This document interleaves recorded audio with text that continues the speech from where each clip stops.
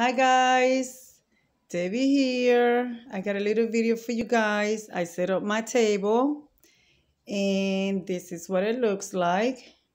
So I hope you like it. This is gonna be a short video and it seems like it's so big. My table is big actually. So I'm gonna, I'm raising my hands for you guys to see from the top. So that's what it looks like. Um, and guys, I'm going to take you guys close now and I'm going to show you what I did. Um, I got my plates right here. These plates right here are from the Dollar Tree and so is the charger. I pay a dollar a piece and it says grateful. And yes, I am grateful and I am blessed. Um, as you guys know, uh, I'm always thrifting. And these glasses, I got them for the Goodwill. Uh, about last summer, I got those. They cost me 99 cents each. Those are green. So I decided to use them to uh, match with some of the green and blues in the plate. As you guys can see, there's different colors there. And then here I have my fork and knife. These are the napkins. My husband washed them right quick. Threw them on the dryer and there they are. So um, the set of knives and forks, I got those from my old job. I worked there for 21 years and those are stainless steel. And I got those right like a year after I started working. So I have those knives and forks and spoons for over 20 years now. So here we go. The tablecloth I had for years. I can't remember where I got it from, but my tablecloth did not come with napkins. Those are the reason why I have, I found this and I thrift them. Um, as you, I, um, they got a different, like a different type of color. So, but it's okay because they match with the colors here on the tablecloth. So, and you guys know in about my last haul, um, I drifted these melamine plates. They were eight for 99 cents. So I got those. I got my water goblets. I thrifted these last summer also or the summer previous to that one. And these are glass and I decided to use them because it goes great with the fall. Um, my table is simple. My husband said he likes it. And I like it also. So I'm taking you guys around.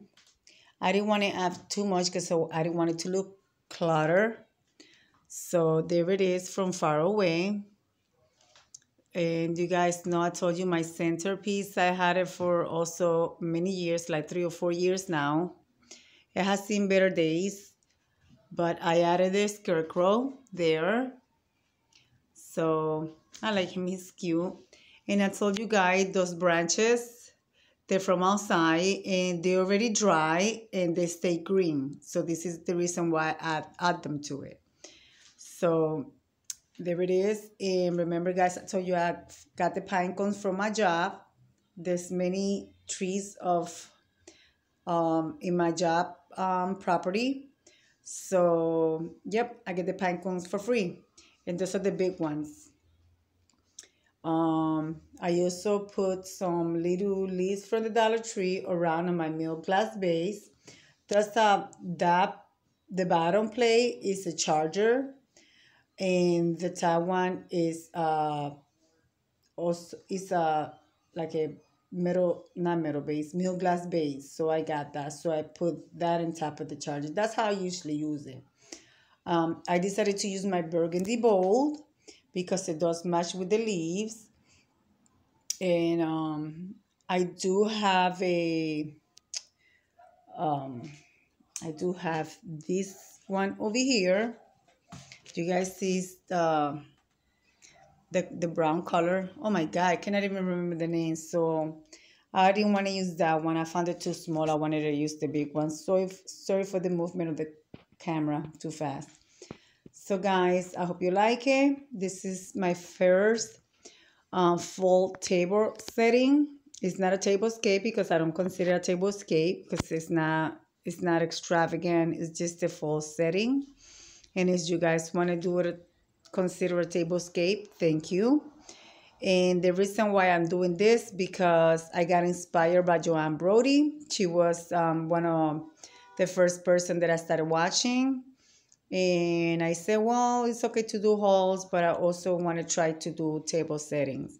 And I believe this is my second or third that I have done. And guys, I hope you like it.